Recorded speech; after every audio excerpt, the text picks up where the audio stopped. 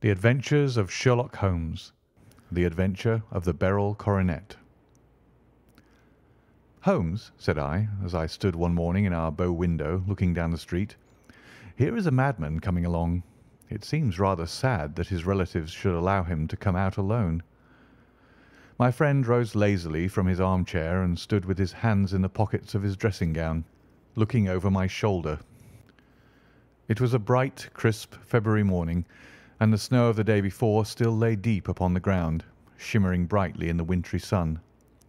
Down the centre of Baker Street it had been ploughed into a brown, crumbly band by the traffic, but at either side and on the heaped-up edges of the footpaths it still lay as white as when it fell. The grey pavement had been cleaned and scraped, but was still dangerously slippery, so that there were fewer passengers than usual. Indeed, from the direction of the Metropolitan Station no one was coming save the single gentleman whose eccentric conduct had drawn my attention. He was a man of about fifty, tall, portly, and imposing, with a massive, strongly marked face and a commanding figure.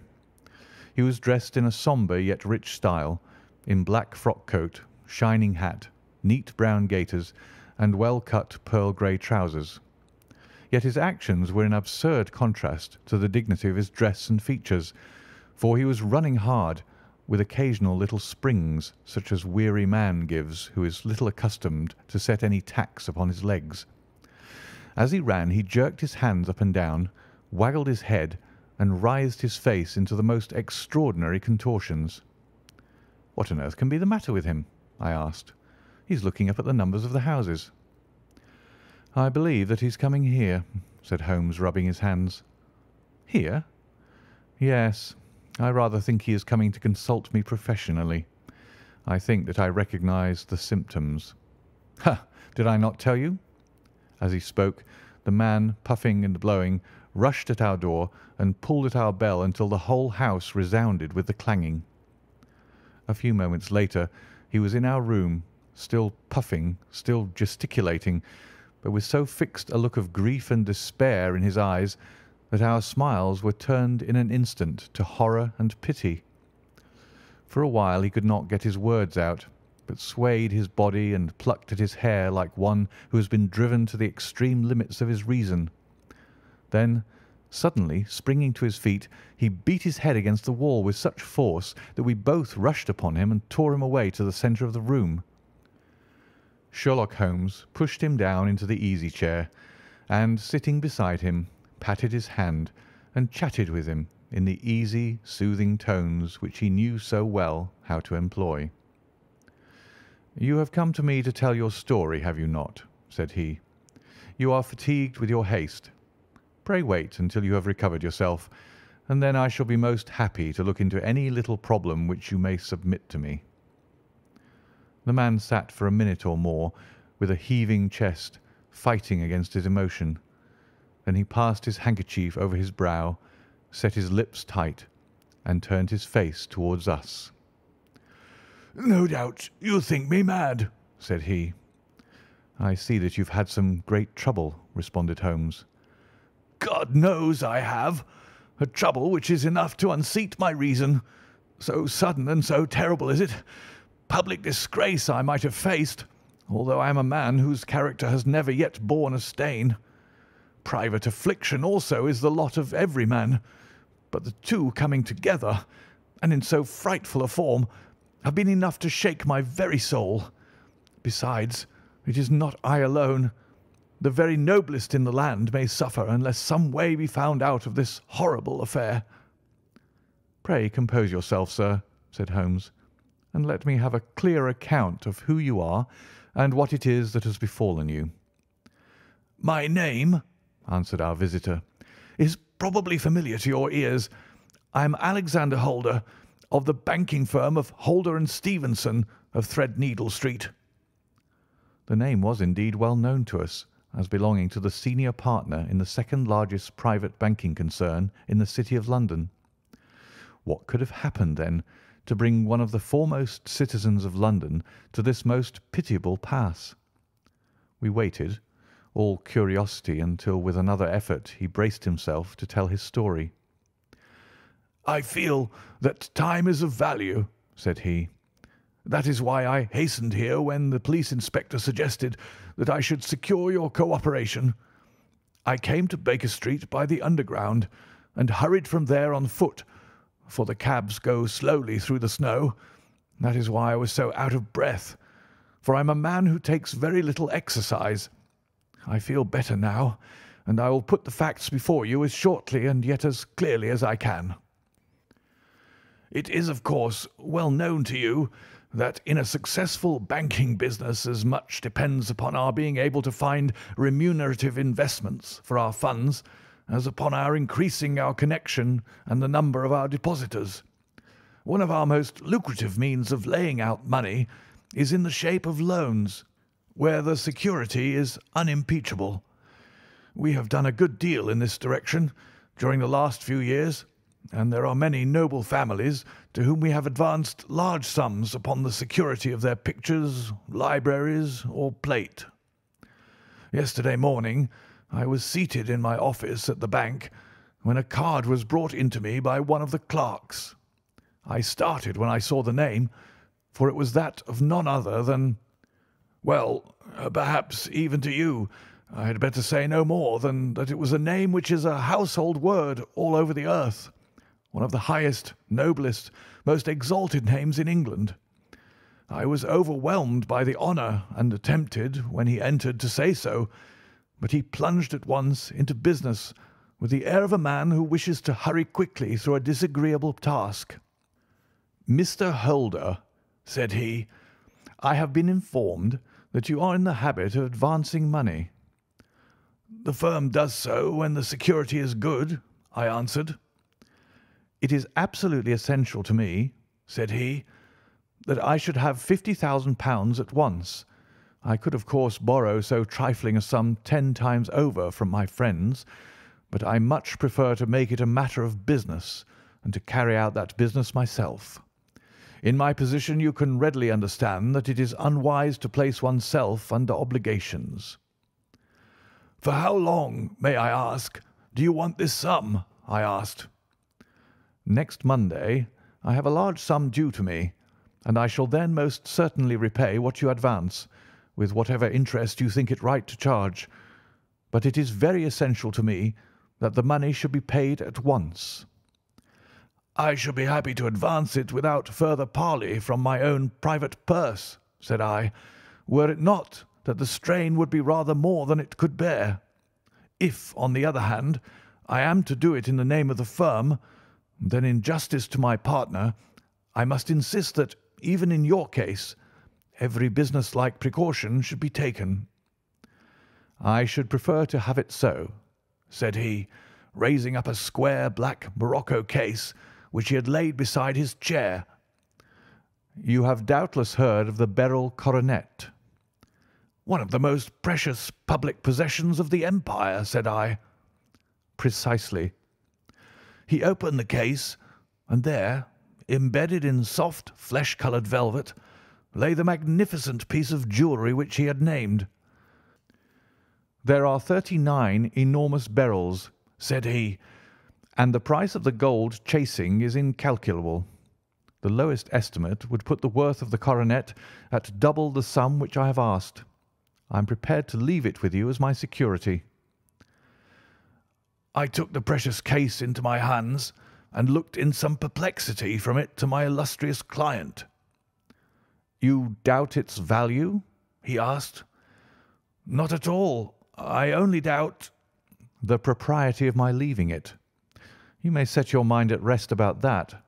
I should not dream of doing so were it not absolutely certain that I should be able in four days to reclaim it. It is a pure matter of form. Is the security sufficient?' "'Ample.' "'You understand, Mr. Holder, that I am giving you a strong proof of the confidence which I have in you, founded upon all that I have heard of you.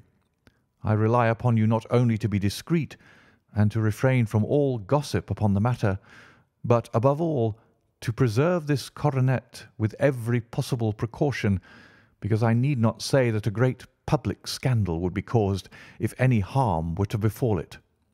Any injury to it would be almost as serious as its complete loss, for there are no beryls in the world to match these, and it would be impossible to replace them. I leave it with you, however, with every confidence, and I shall call for it in person on Monday morning." Seeing that my client was anxious to leave, I said no more, but calling for my cashier, I ordered him to pay over fifty one-thousand-pound notes. When I was alone once more, however, with the precious case lying upon the table in front of me, I could not but think with some misgivings of the immense responsibility which it entailed upon me.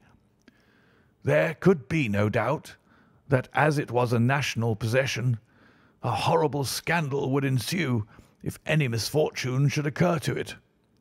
I already regretted having ever consented to take charge of it.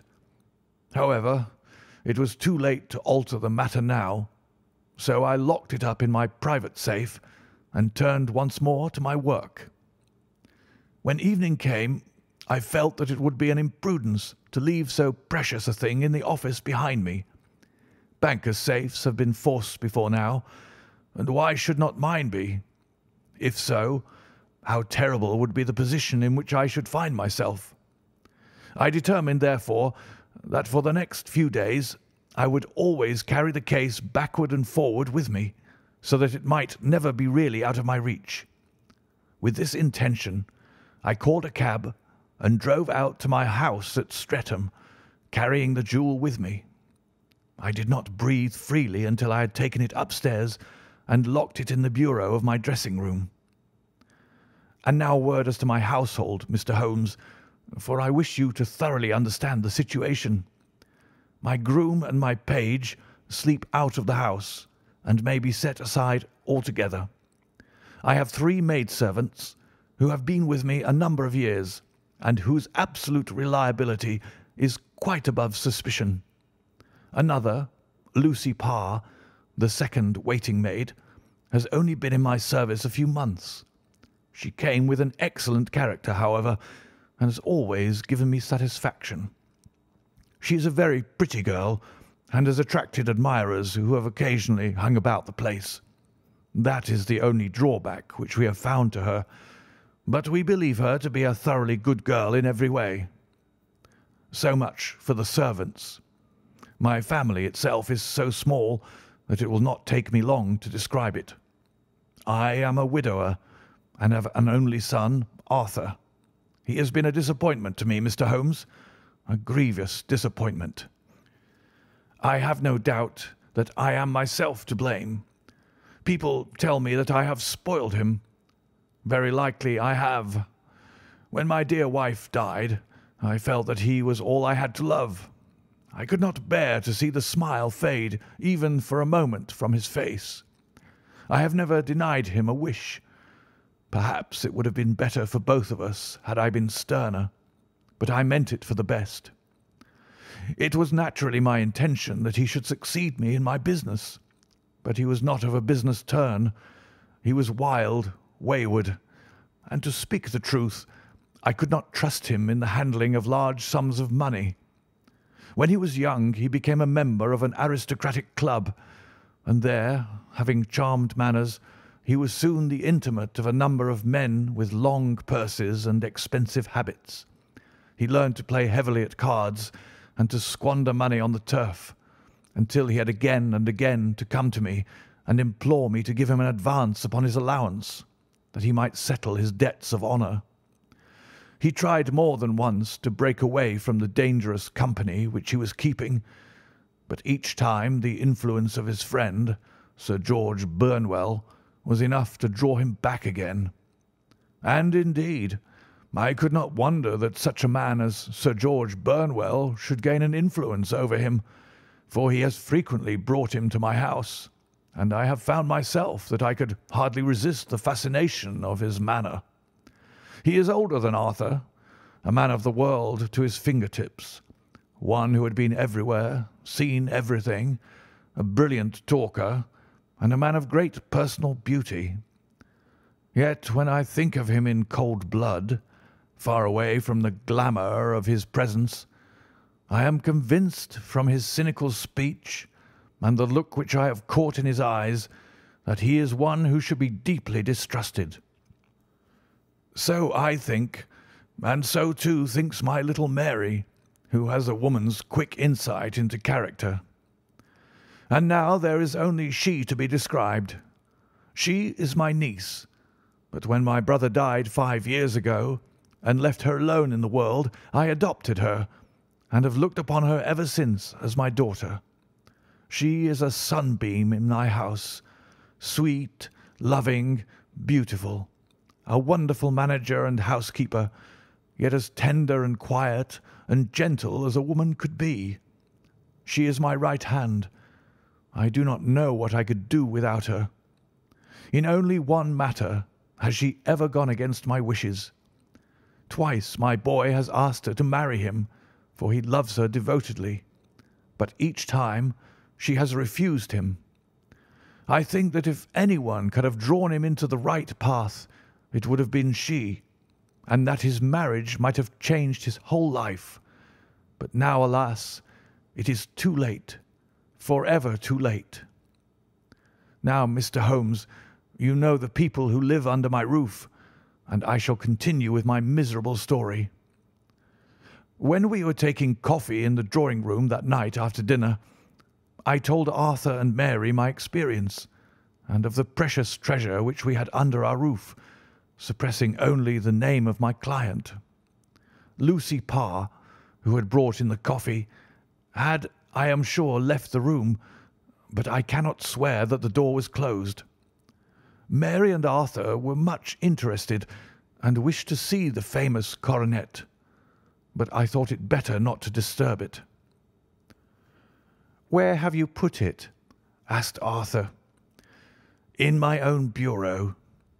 Well, I hope to goodness the house won't be burgled during the night, said he.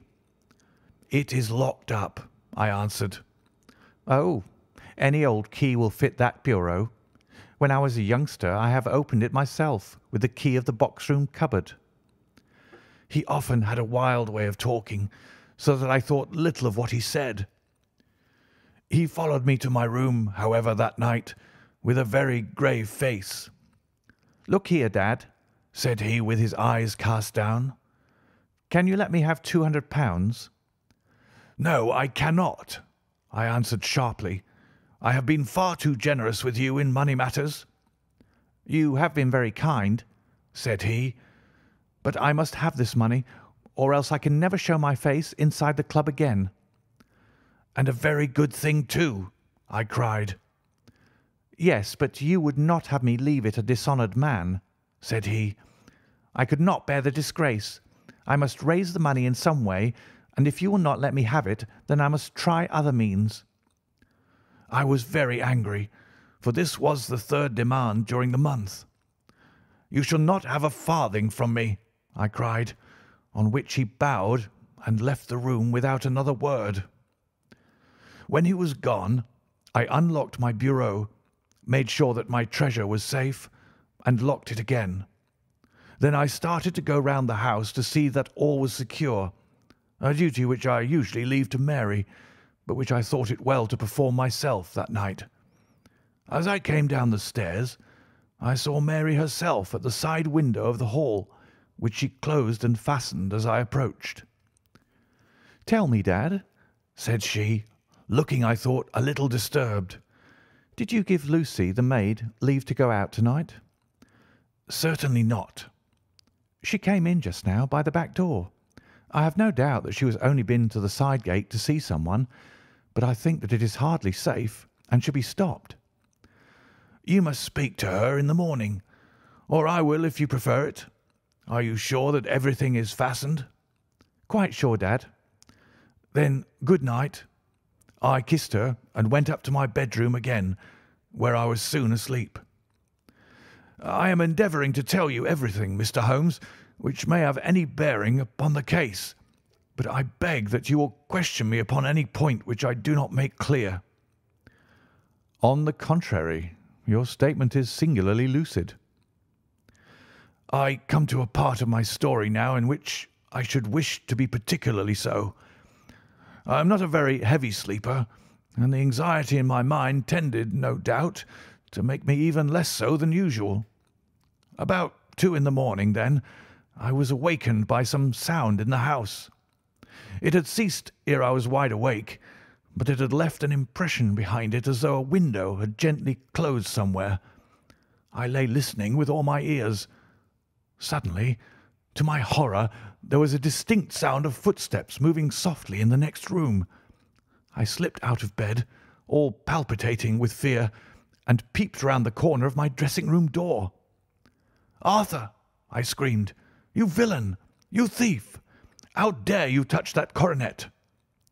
The gas was half up as I had left it, and my unhappy boy, dressed only in his shirt and trousers, was standing beside the light, holding the coronet in his hands. He appeared to be wrenching at it or bending it with all his strength. At my cry he dropped it from his grasp and turned as pale as death. I snatched it up and examined it. One of the gold corners, with three of the beryls in it, was missing. "'You blackguard!' I shouted, beside myself with rage. "'You have destroyed it. You have dishonoured me for ever. Where are the jewels which you have stolen?' "'Stolen?' he cried. "'Yes, thief!' I roared, shaking him by the shoulder. "'There are none missing. There cannot be any missing,' said he. "'There are three missing, and you know where they are. Must I call you a liar as well as a thief? Did I not see you trying to tear off another piece?' "'You have called me names enough,' said he. "'I will not stand it any longer.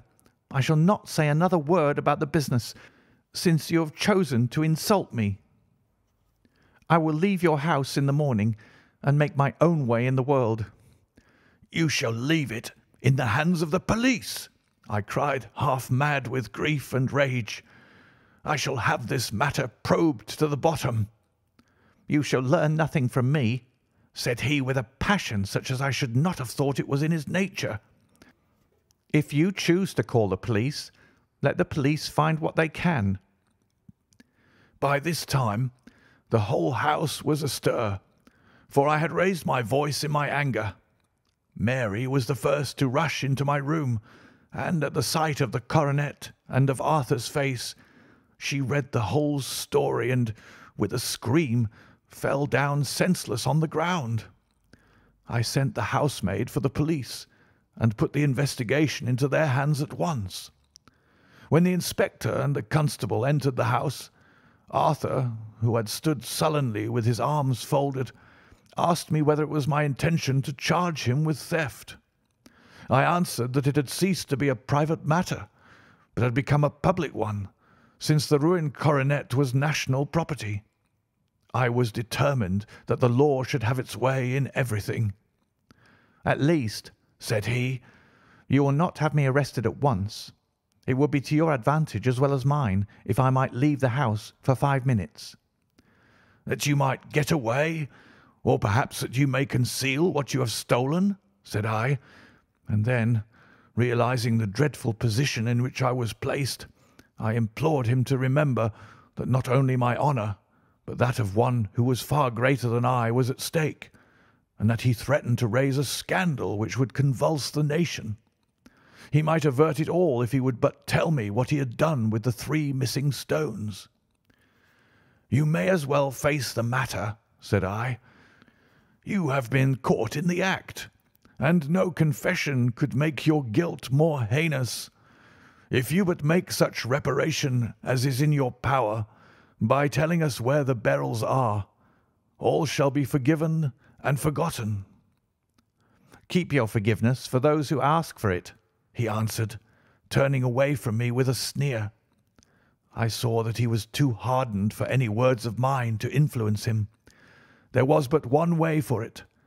I called in the inspector and gave him into custody. A search was made at once, not only of his person, but of his room and of every portion of the house where he could possibly have concealed the gems.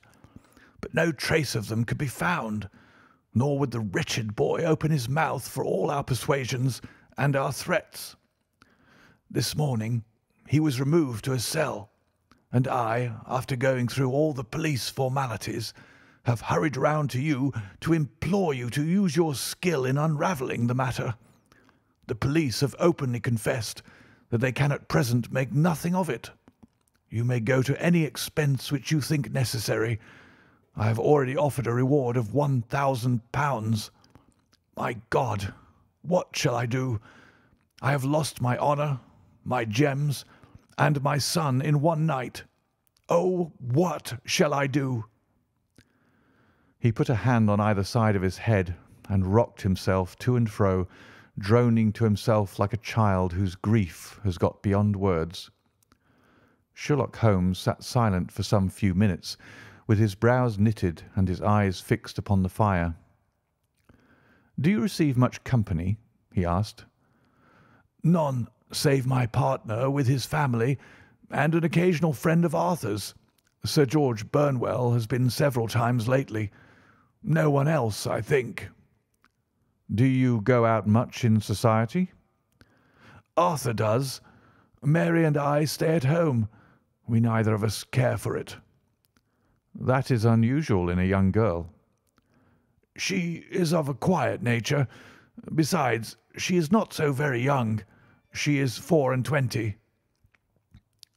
"This matter, from what you say, seems to have been a shock to her also." "Terrible. She is even more affected than I." "You have neither of you any doubt as to your son's guilt?" How can we have when I saw him with my own eyes with the coronet in his hands?" "I hardly consider that a conclusive proof. Was the remainder of the coronet at all injured?" "Yes, it was twisted." "Do you not think, then, that he might have been trying to straighten it?" "God bless you! You are doing what you can for him and for me, but it is too heavy a task. What was he doing there at all? If his purpose were innocent, why did he not say so?" "Precisely. And if it were guilty, why did he not invent a lie? His silence appears to me to cut both ways. There are several singular points about the case. What did the police think of the noise which awoke you from your sleep?" "They considered that it might be caused by Arthur's closing his bedroom door. A likely story. As if a man bent on felony would slam his door so as to wake a household. What did they say, then, of the disappearance of those gems?" "They are still sounding the planking and probing the furniture in the hope of finding them." "Have they thought of looking outside the house?" "Yes, they have shown extraordinary energy. The whole garden has already been minutely examined." "Now, my dear sir said Holmes. "Is it not obvious to you now that this matter really strikes very much deeper than either you or the police were at first inclined to think? It appeared to you to be a simple case. To me it seems exceedingly complex. Consider what is involved by your theory.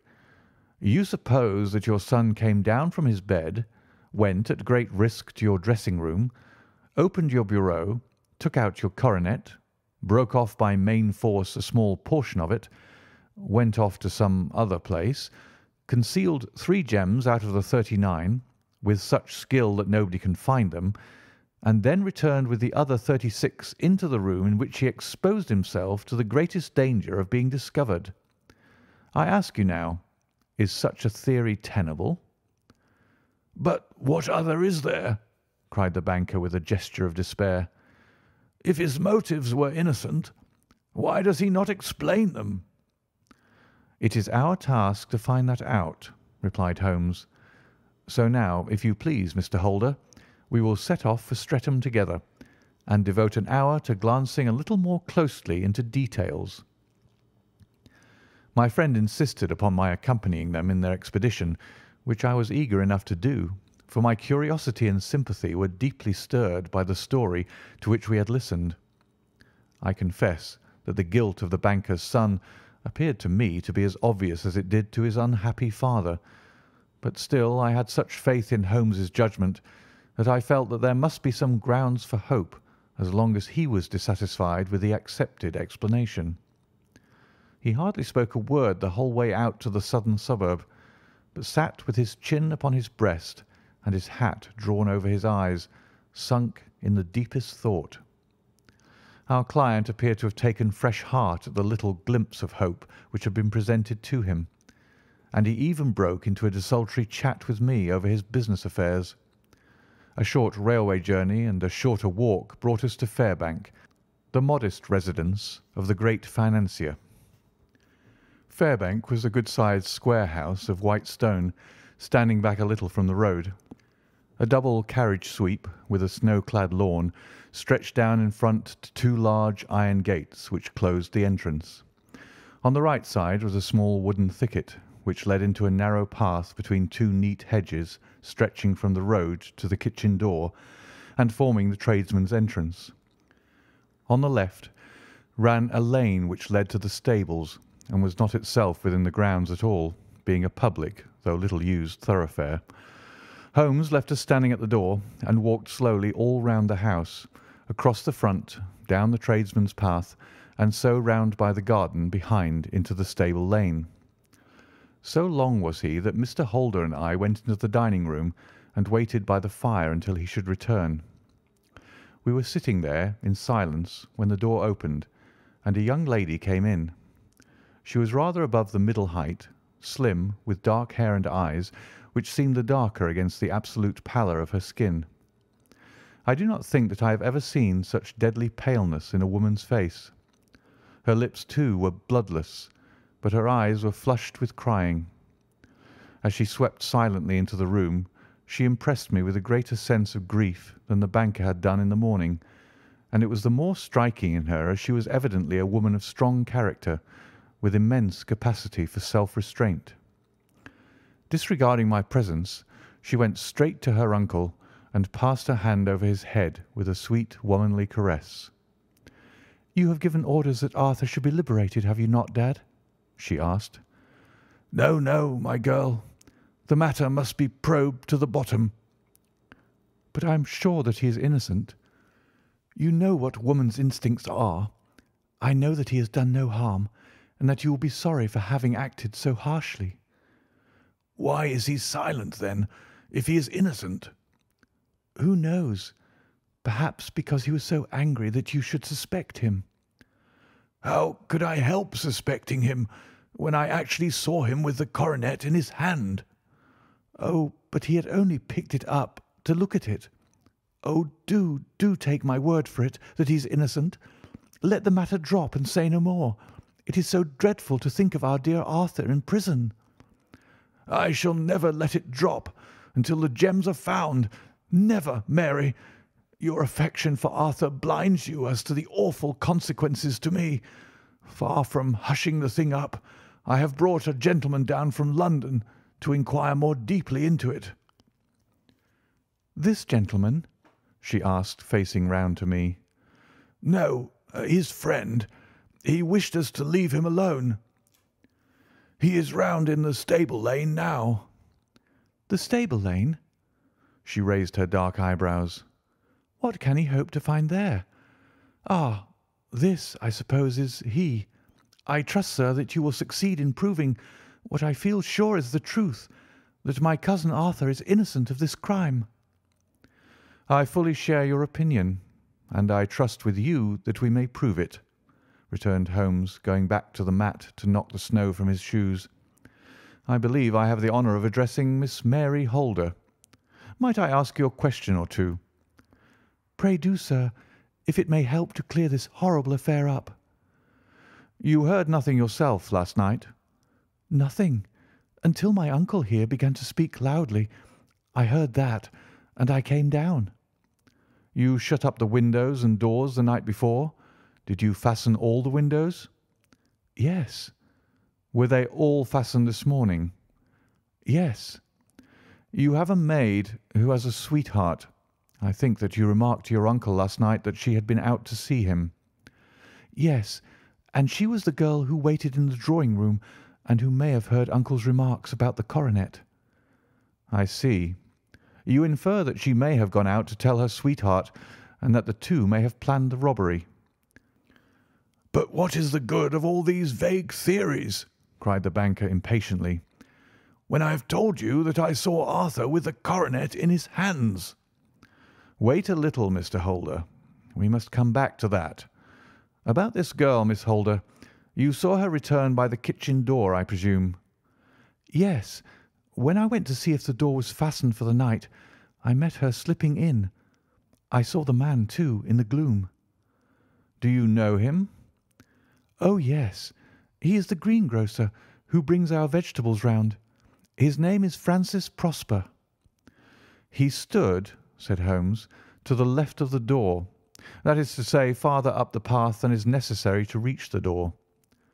"Yes, he did." "And he is a man with a wooden leg." Something like fear sprang up in the young lady's expressive black eyes. "Why, you are like a magician!" said she. "How do you know that?" She smiled, but there was no answering smile in Holmes' thin, eager face. "I shall be very glad now to go upstairs," said he. "I shall probably wish to go over the outside of the house again. Perhaps I had better take a look at the lower windows before I go up." He walked swiftly round from one to the other, pausing only at the large one which looked from the hall on to the stable lane. This he opened and made a very careful examination of the sill with his powerful magnifying lens. "Now we shall go upstairs," said he at last. The banker's dressing-room was a plainly furnished little chamber, with a grey carpet, a large bureau, and a long mirror. Holmes went to the bureau first and looked hard at the lock. "Which key was used to open it?" he asked. "That which my son himself indicated that of the cupboard of the lumber room." "Have you it here?" "That is it on the dressing table." Sherlock Holmes took it up and opened the bureau. "It is a noiseless lock," said he. "It is no wonder that it did not wake you. This case, I presume, contains the coronet. We must have a look at it." He opened the case, and taking out the diadem he laid it upon the table. It was a magnificent specimen of the jeweller's art, and the thirty-six stones were the finest that I have ever seen. At one side of the coronet was a cracked edge, where a corner holding three gems had been torn away. "Now, Mr. Holder," said Holmes, "here is the corner which corresponds to that which has been so unfortunately lost. Might I beg that you will break it off?" The banker recoiled in horror. "I should not dream of trying," said he. "Then I will. Holmes suddenly bent his strength upon it, but without result.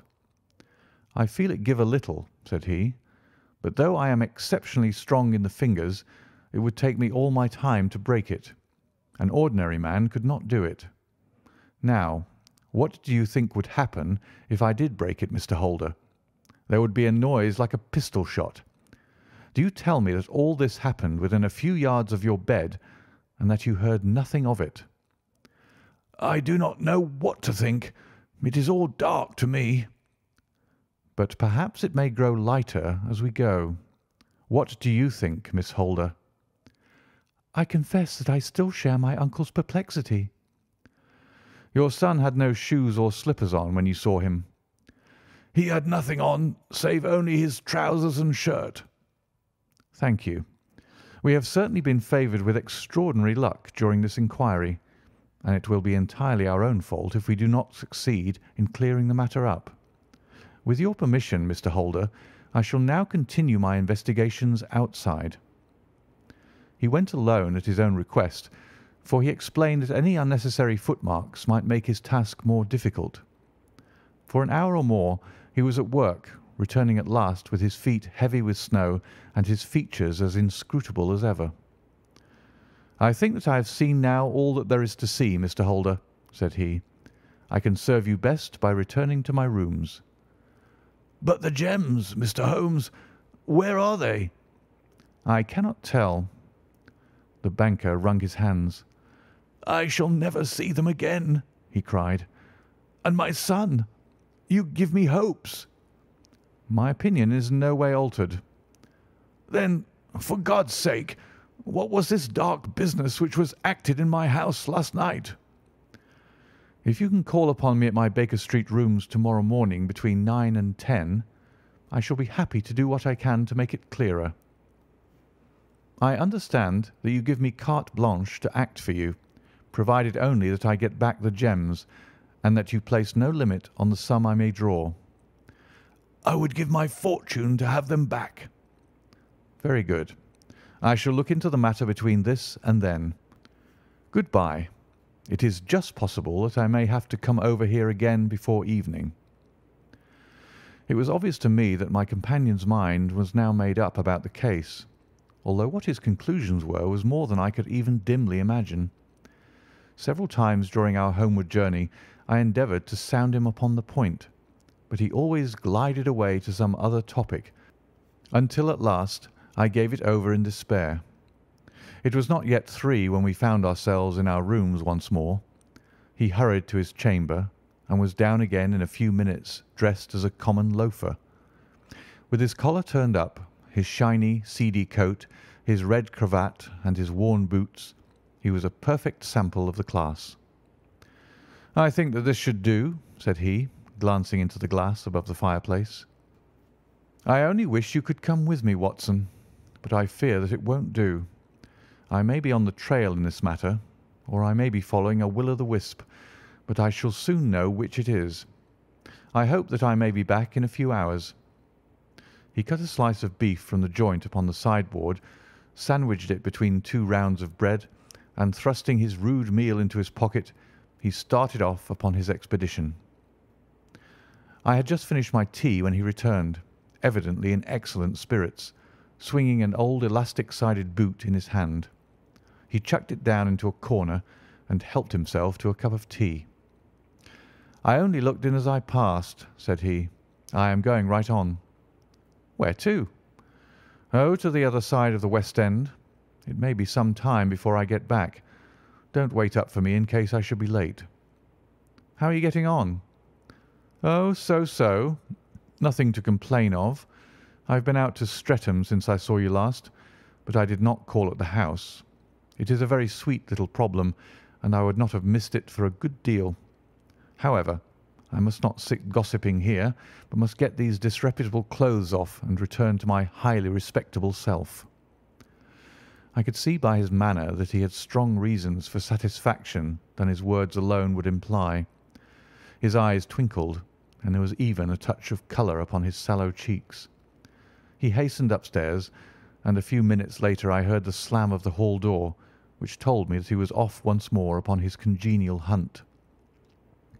I waited until midnight, but there was no sign of his return, so I retired to my room. It was no uncommon thing for him to be away for days and nights on end when he was hot upon a scent, so that his lateness caused me no surprise. I do not know at what hour he came in, but when I came down to breakfast in the morning, there he was with a cup of coffee in one hand and the paper in the other, as fresh and trim as possible. "You will excuse my beginning without you, Watson," said he, "but you remember that our client has rather an early appointment this morning." "Why, it is after nine now," I answered. "I should not be surprised if that were he. I thought I heard a ring." It was indeed our friend the financier. I was shocked by the change which had come over him, for his face, which was naturally of a broad and massive mould, was now pinched and fallen in while his hair seemed to me at least a shade whiter. He entered with a weariness and lethargy which was even more painful than his violence of the morning before, and he dropped heavily into the armchair which I pushed forward for him. "I do not know what I have done to be so severely tried," said he. "Only two days ago I was a happy and prosperous man, without a care in the world. Now I am left to a lonely and dishonoured age. One sorrow comes close upon the heels of another. My niece Mary has deserted me." "Deserted you?" "Yes. Her bed this morning had not been slept in. Her room was empty, and a note for me lay upon the hall table.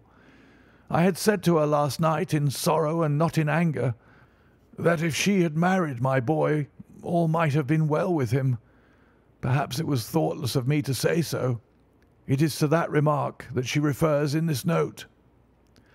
My dearest uncle, I feel that I have brought trouble upon you, and that if I had acted differently this terrible misfortune might never have occurred.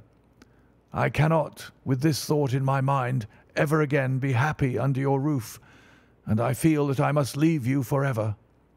Do not worry about my future, for that is provided for, and above all, do not search for me, for it will be fruitless labour and an ill service to me. In life or in death, I am ever your loving Mary. What could she mean by that note, Mr. Holmes? Do you think it points to suicide? No, no, nothing of the kind. It is perhaps the best possible solution. I trust, Mr. Holder, that you are nearing the end of your troubles. Ha! You say so. You have heard something, Mr. Holmes? You have learned something? Where are the gems? You would not think one thousand pound apiece an excessive sum for them? I would pay ten. That would be unnecessary. The thousand will cover the matter, and there is a little reward, I fancy. Have you your cheque book? Here is a pen. Better make it out for mm, four thousand pounds. With a dazed face, the banker made out the required cheque. Holmes walked over to his desk, took out a little triangular piece of gold with three gems in it, and threw it down upon the table. With a shriek of joy, our client clutched it up. You have it, he gasped. I am saved. I am saved. The reaction of joy was as passionate as his grief had been, and he hugged his recovered gems to his bosom. There is one other thing you owe, Mr. Holder, said Sherlock Holmes rather sternly. Oh? He caught up a pen. Name the sum, and I will pay it. No, the debt is not to me. You owe a very humble apology to that noble lad, your son, who has carried himself in this matter as I should be proud to see my own son do, should I ever chance to have one. Then it was not Arthur who took them? I told you yesterday, and I repeat today, that it was not. You are sure of it?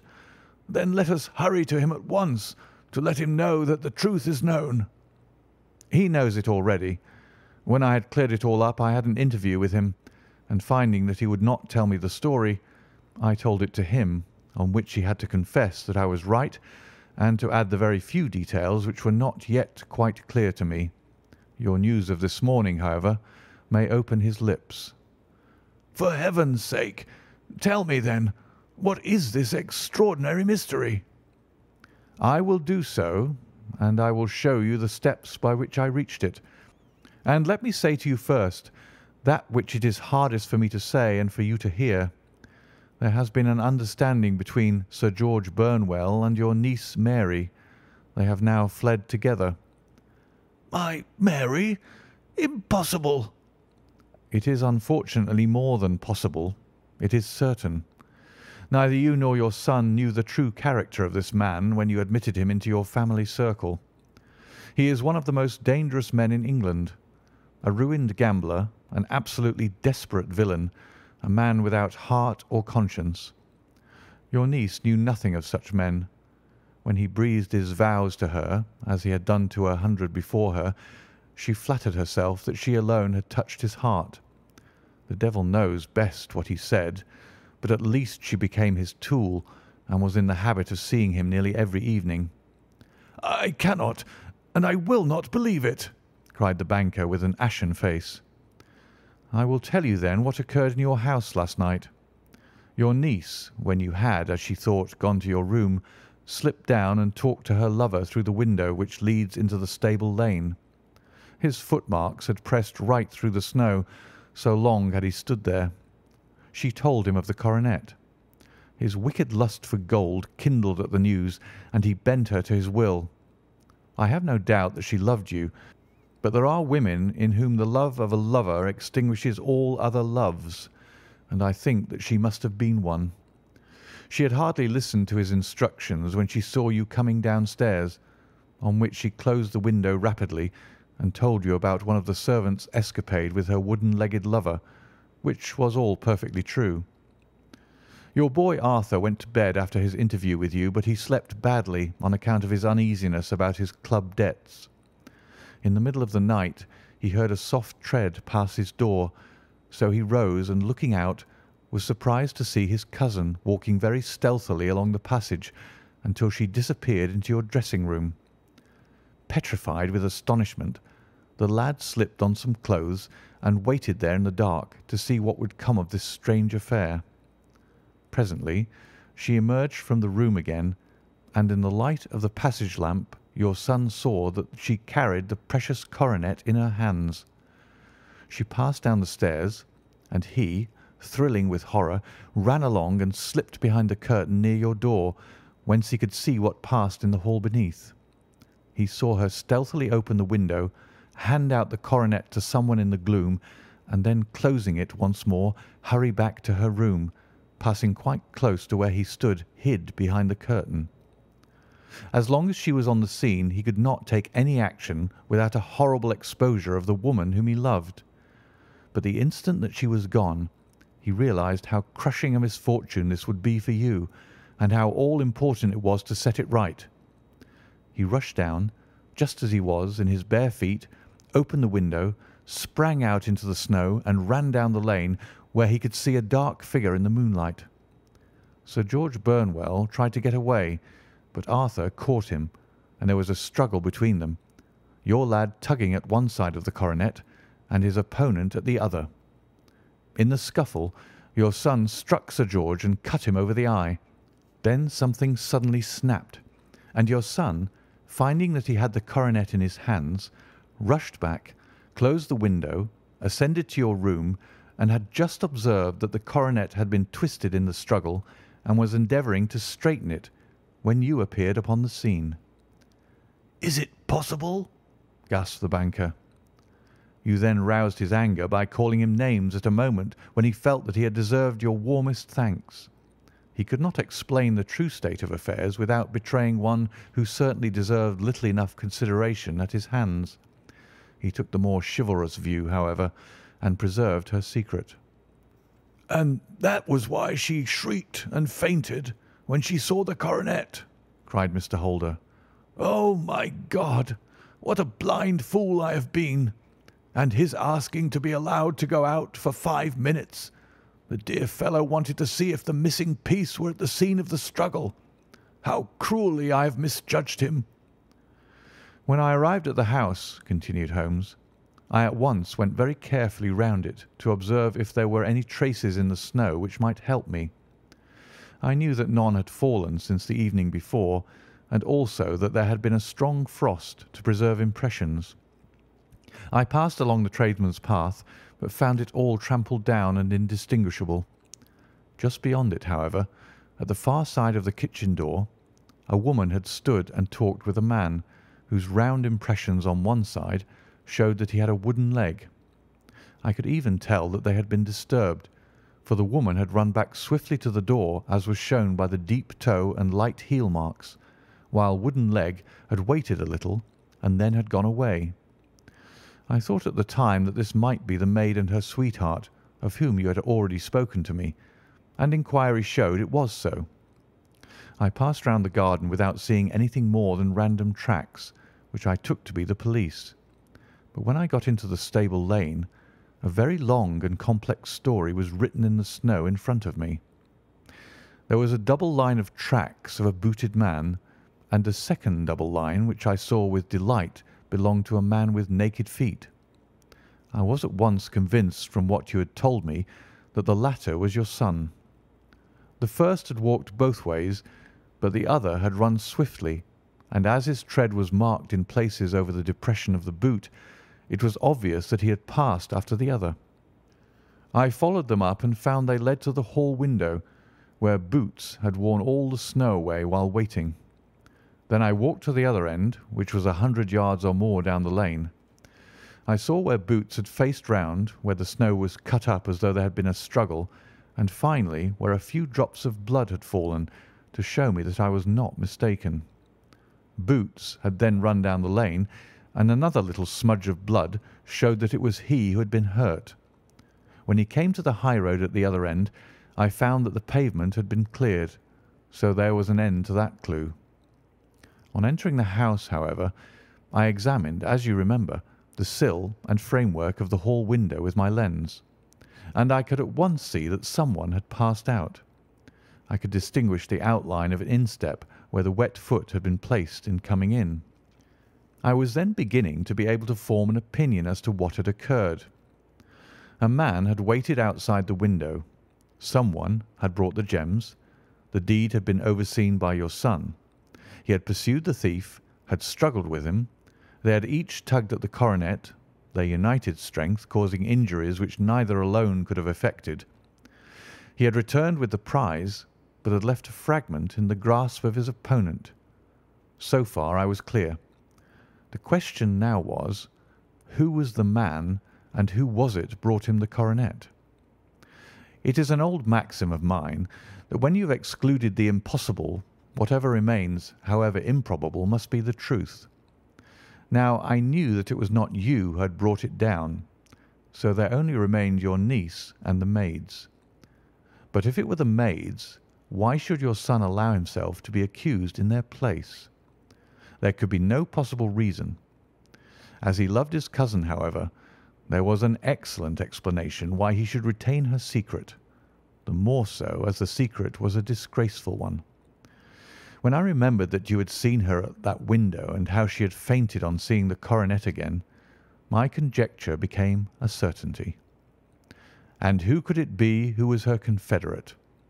A lover, evidently, for who else could outweigh the love and gratitude which she must feel to you? I knew that you went out little, and that your circle of friends was a very limited one, but among them was Sir George Burnwell, I had heard of him before as being a man of evil reputation among women. It must have been he who wore those boots and retained the missing gems. Even though he knew that Arthur had discovered him, he might still flatter himself that he was safe, for the lad could not say a word without compromising his own family. Well, your own good sense will suggest what measures I took next. I went in the shape of a loafer to Sir George's house managed to pick up an acquaintance with his valet, learned that his master had cut his head the night before, and finally, at the expense of six shillings, made all sure by buying a pair of his cast-off shoes. With these I journeyed down to Streatham and saw that they exactly fitted the tracks. I saw an ill-dressed vagabond in the lane yesterday evening, said Mr. Holder. Precisely. It was I. I found that I had my man so I came home and changed my clothes. It was a delicate part which I had to play then, for I saw that a prosecution must be avoided to avert scandal, and I knew that so astute a villain would see that our hands were tied in the matter.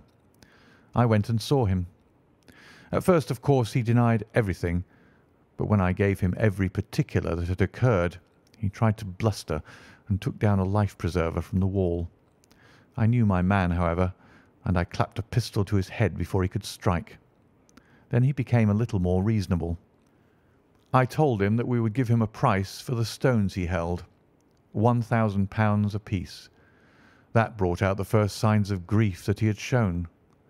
"Why, dash it all," said he, "I've let them go at six hundred for the three." I soon managed to get the address of the receiver who had them, on promising him that there would be no prosecution. Off I set to him, and after much chaffering I got our stones at one thousand pounds apiece. Then I looked in upon your son, told him that all was right, and eventually got to my bed about two o'clock, after what I may recall a really hard day's work. "A day which has saved England from a great public scandal," said the banker, rising. "Sir, I cannot find words to thank you, but you shall not find me ungrateful for what you have done. Your skill has indeed exceeded all that I have heard of it, and now I must fly to my dear boy to apologize to him for the wrong which I have done him. As to what you tell me of poor Mary, it goes to my very heart. Not even your skill can inform me where she is now." "I think that we may safely say," returned Holmes, "that she is wherever Sir George Burnwell is. It is equally certain, too, that whatever her sins are, they will soon receive a more than sufficient punishment.